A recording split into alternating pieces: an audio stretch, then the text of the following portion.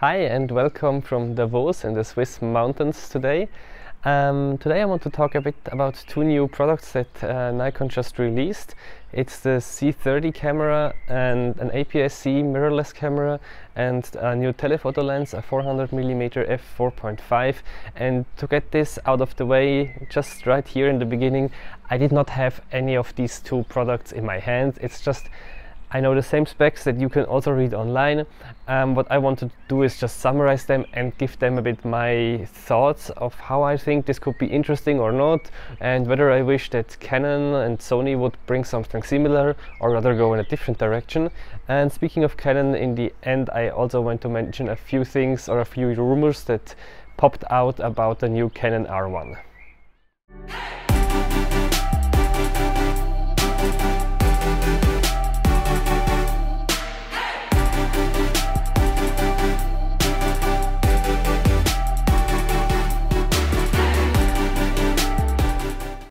Let's start with the new lens that Nikon announced. It's a telephoto lens. It's a 400mm f4.5. So it's not one of these uh, super fast telephoto lenses, um, but that's fine because Nikon just announced like two or three months ago a 400mm 2.8 um, that also has this swap in tele extender. So this is just different class of lens, but even though you trade like 1.3 stops of light, it has of course the advantage that it's way cheaper. It costs around 3,200 US dollars. And maybe even more important for some people, it's also way lighter. It weighs around 1.1 kilogram. I will put the pounds here in a caption below.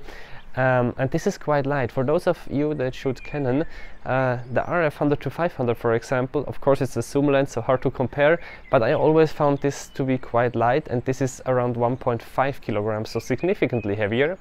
And if we look at the 400mm f4 from Canon with the DO technique, um, this one is around uh, 2.1 kilo, so almost twice as heavy. Of course, it's also a bit an older lens and it's one stop uh, faster but this should just emphasize how light and also compact with 23 centimeters the Nikon 400 4.5 will be. And as you might know Nikon already has three kind of lightweight compact telephoto lenses with still excellent quality.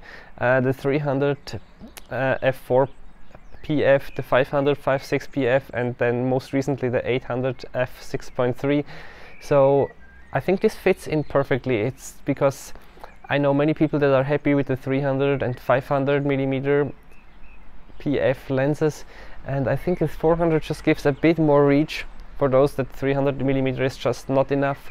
It gives a bit of smoother background and so on. It can be combined with tele extenders. So I think it's a really nice lens and I know quite some people that would be interested in having such a lens so let's move on to the camera. The, it's called a Z30 and if we look at the price point of $700 we can already see it's rather an entry-level camera and I think there is not much point of discussing how much how useful this would be for us wildlife photographers because it's just the wrong camera.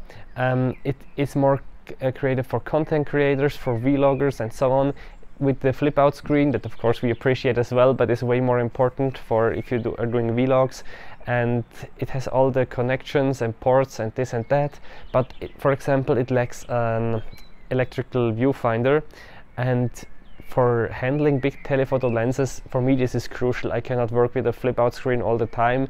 From time to time I enjoy it but overall I strongly prefer the electronic viewfinder. So I think this is just not the camera that is targeted to wildlife photographers.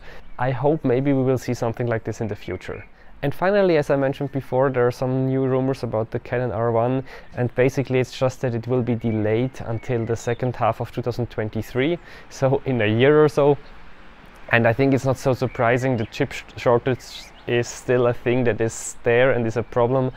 Uh, Canon still has problems delivering, for example, the R3 and of course it makes I think more sense to just deliver the cameras to the customers that you can right now or to try at least to do this um, yeah, because everybody prefers a camera that they can shoot now than two cameras they need to wait longer. And I also hope that if they release it a bit later, they have more time to refine it, to optimize a few things, so that in the end we will have an even better camera and most importantly more than just an R3 with a high megapixel sensor. So I'm really excited for this and yeah, we can just wait. So if you have thoughts about the new Nikon camera and lens, just let me know in the comments. I would be curious what you think, especially if you're from Nikon, if you are planning to buy the new lens, or if you're from Sony and Canon, would you wish for something similar or rather not? Until then, have a nice day. Bye.